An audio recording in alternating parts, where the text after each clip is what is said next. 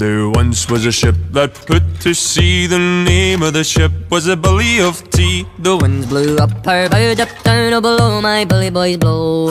Soon may the Wellerman come to bring us sugar and tea and rum. One day when the tonguing is done, we'll take our leave and go. She had not been two weeks from shore when down on her a right whale bore. The captain called all hands and swore